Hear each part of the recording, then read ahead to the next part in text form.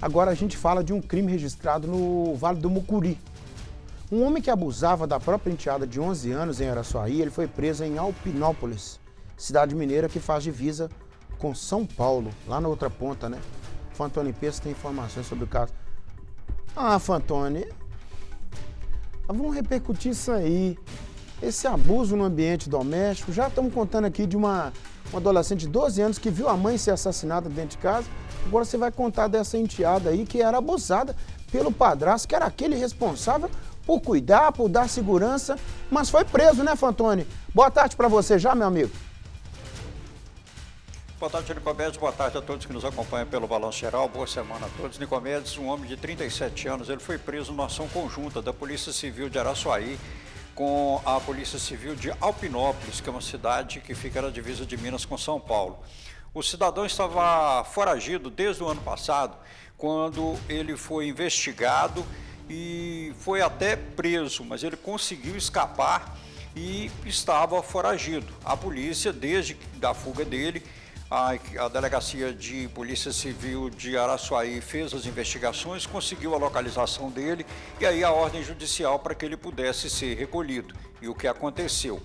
O histórico Nicomedes é uma situação de realmente arrepiar, porque esse cidadão ele era o padrasto da vítima e começou a abusar dela com a idade de 11 anos. E aos 13, a situação chegou ao conhecimento da mãe. Como? Através de uma outra filha que presenciou o padrasto com a irmã e aí contou o caso para a mãe, que procurou as autoridades e aí o caso começou a ser investigado.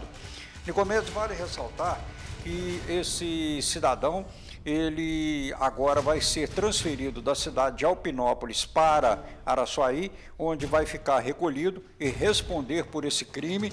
E detalhe, a vítima vai passar por um processo de avaliação por parte das equipes multidisciplinares da Prefeitura de Araçuaí para ter esse atendimento. E Nicomedes, é importante aí que as famílias não se envolvam ou não se deixe levar pelas ameaças do cidadão que ameaçava a vítima.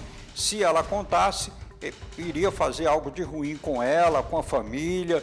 Então que essas vítimas não aceitem mais essa história. Parece conto da carochinha, Nicomedes. É sempre a mesma história. O script se repete, basta apenas trocar. Essa é a impressão que se tem. Às vezes trocam-se apenas os personagens, troca-se apenas a, o local, mas a história é sempre a mesma.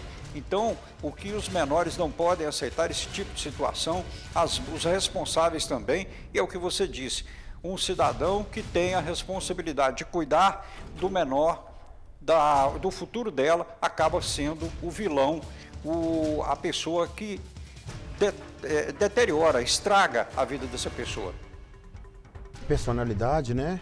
E agora ele foi capturado, vai lá para a comarca né, de origem para responder isso lá e conduzido ao sistema penitenciário, sistema carcerário, onde, né, Fantônio, a política interna né, entre os reclusos já é assim, de repúdia a esse tipo de pessoa que pratica esses crimes dessa natureza, né?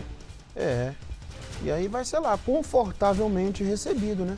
Fazer o quê? A pessoa aposta nisso aí, ué. E não tem que se calar não, Fantônio, tem que denunciar sim.